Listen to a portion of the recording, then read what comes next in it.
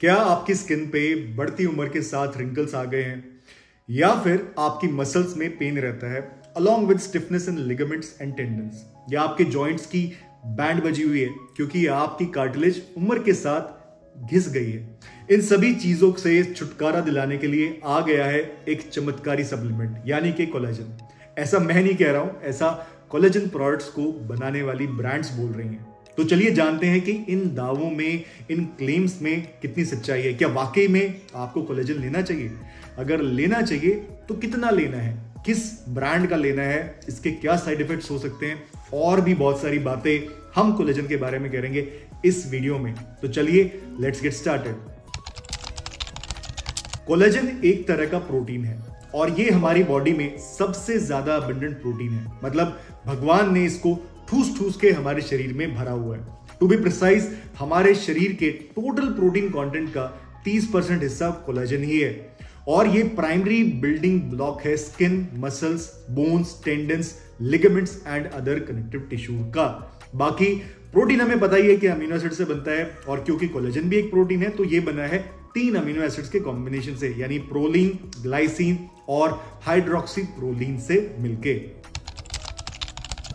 अब बात आती है कि कोलेजन का काम क्या है हमारे शरीर में। तो देखो यार, अगर मेरे को एक लाइन में इसको बताना हो तो मैं कहूँगा कि कोलेजन हमारे पूरे शरीर को एक स्ट्रक्चर प्रोवाइड करता है along with strength and support जिसका मतलब है कोलेजन ज़रूरी है for healthy hair skin nails bones joints muscles blood vessels digestion और तो और blood clotting and wound healing के लिए भी कोलेजन ज़रूरी है। यही नहीं, एक हेल्दी गट मेंटेन करने के लिए भी कोलेजन ज़रूरी है। टोटल पाँच तरह के कोलेजन होते हैं अपने शरीर में, लेकिन जो सबसे मेन है वो है टाइप वन यानी 90 परसेंट कोलेजन जो हमारे शरीर में है, वो टाइप वन है। बाकी 10 परसेंट में बचे हुए चारों टाइप आ जाते हैं।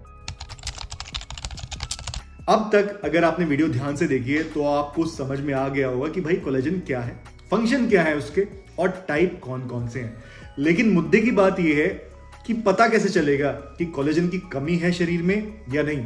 तो देखो यार, इसका कोई टेस्ट नहीं होता है except for type four collagen जिसके लिए टेस्ट होता है, जिसको चेक करके हमें मायोकार्डियल इंफ्रैक्शन और ब्रेस्ट कैंसर का पता लग सकता है। विच मीन्स अगर हमें पता करना है कि कोलेजन की कमी है या नहीं तो हमको बॉडी के साइन एंड सिम्टम्स को ऑब्ज़र्व करना पड़ेगा।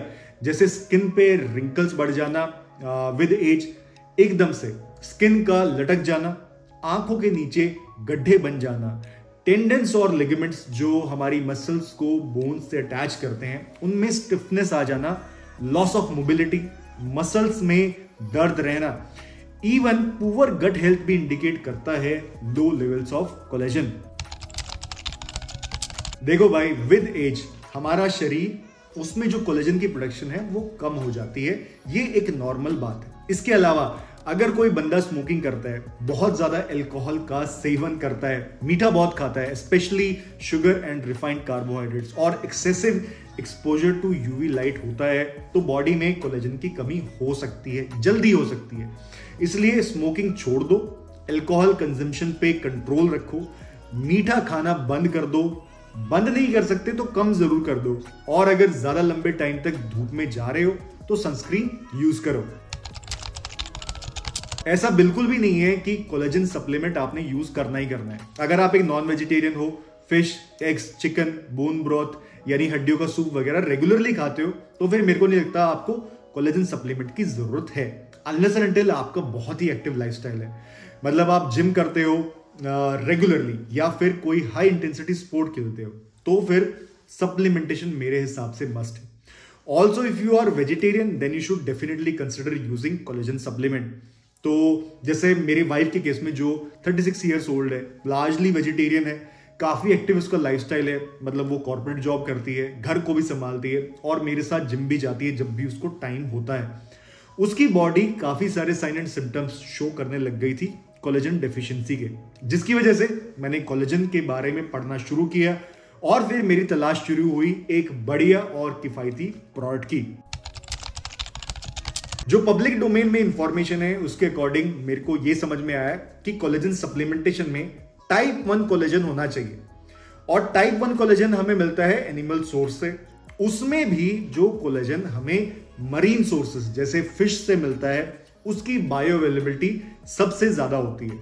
बाकी प्राइस भी मेरे को रीजनेबल चाहिए था प्रोडक्ट का। और ये भी एक कंडीशन थी कि प्रोडक्ट की हर सर्विंग में कम से कम पाँच से दस ग्राम कोलेजन हो। और कंपोजिशन प्रोडक्ट की मेरे को सिंपल चाहिए थी। मतलब ये नहीं हो कि सिर्फ़ दिखाने के लिए अंधाधुंध इंग्रेडिएंट डाल दिए हो। अब इतने प्रोडक्ट हैं ऑनलाइन कोई भी इजिली कंफ्यूज हो सकता है। इसलिए मैंने जिन जिन ब्रांड्स के प्रोटीन रिव्यू करे हुए थे मतलब जो मेरे हिसाब से ट्रस्ट वर्दी ब्रांड्स हैं, उनकी साइट पे कोलेजन ढूंढना शुरू किया।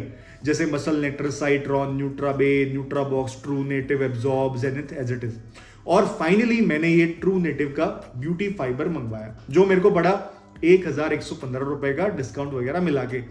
और इसकी कंपोजिशन प्रिटी स्ट्रेट फॉरवर्ड है। कोलेजन इसमें मिलता है पाँच ग्राम। और अच्छी बात यह है कि मरीन कोलेजन ही है इसमें। उसके साथ 2.7 ग्राम फाइबर मिलता है, जो कि एक एडेड एडवांटेज देता है। मतलब इससे आपका गट हेल्दी रहेगा, और गट हेल्दी तो सब कुछ हेल्दी और 25 मिलीग्राम हाइलोरोनिक एसिड मिलता है। हालाँकि मेरे हिसाब से हाइलोरोनिक एसिड की क्वांटिटी कम है मतलब अराउंड 100 मिलीग्राम तो होनी चाहिए थी। बाकी मैंने लगे हाथों, इनका एक एवरीडे फाइबर भी आता है, वो भी मंगवाया है for my mother and father और मैं भी उसको यूज़ करके देखूँगा, उसका रिव्यू भी आपके साथ जल्दी ही शेयर करूँगा।